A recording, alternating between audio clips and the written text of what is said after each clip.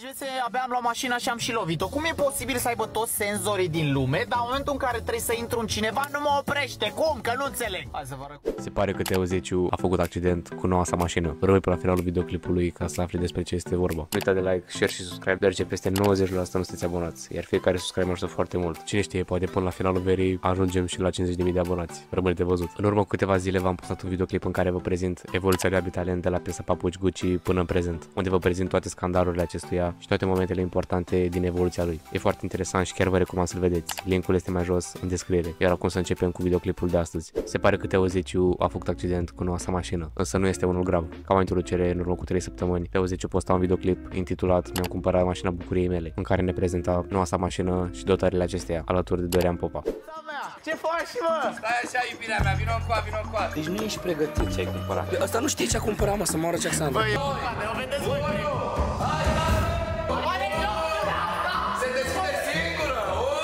Ai luat mare mașină. Te de mâncați aici gura ta. Ce interior are. Ei bine, în urmă cu câteva ore, Teo Zeciu postează un videoclip scurt în care ne anunță că a lovit mașina sa nouă. Deci vezi, abia am luat mașina și am și lovit-o. Cum e posibil să aibă toți senzorii din lume, dar în momentul în care trebuie să intru în cineva, nu mă oprește? E lovită rău, dar e lovită. Tot în același video, Teo Zeciu ne explică și cum a făcut accidentul și ce a pățit mașina în urma lui. E lovită rău, dar e lovită. Inițial credeam că sunt doar zgârieturile astea pe aici. După aia am văzut și gaura asta de aici, care e cam uh, mare. Deci, ce credeți? Voiam să intru pe o bandă, pe Bă, ce are asta, mă, urlă la mine, ce are? Deci voiam să intru pe bandă, pe un pod, era o mașină în fața mea care înainta ușor și am văzut că înaintează, am crezut că se bagă și când să mă asigur și eu trece o mașină, două, trei și a zis, bă, l-a plecat, hai că mă bag și eu acum repede, că mă grăbeam undeva. Am intrat fix în fundul ăla. Cam așa s-a întâmplat și acum am rămas cu craterul ăsta aici. Voi ce părere aveți? Oare în jurul care sume se învârte o bară de BMW pentru modelul acestuia? Lasă un comentarii. Pe final, nu uita de like, share și subscribe, deoarece peste 90%